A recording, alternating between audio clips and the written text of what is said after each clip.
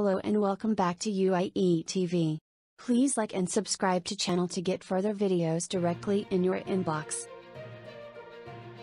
UK tourists face new quarantine deadline race.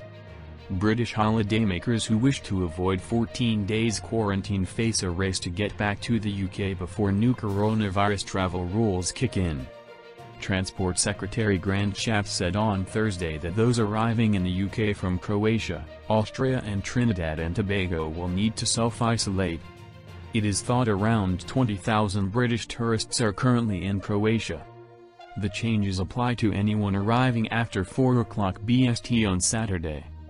But UK tourists returning from Portugal will no longer need to self-isolate after the country was added to the UK's list of travel corridors.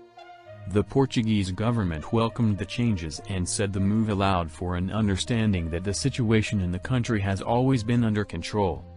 Meanwhile, the Scottish government has added Switzerland to its list of countries requiring quarantine.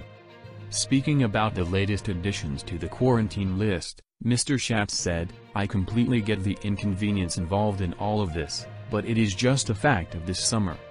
Mr. Shapps said testing for coronavirus at airports to help reduce quarantine time was something we're really interested in and was under active review.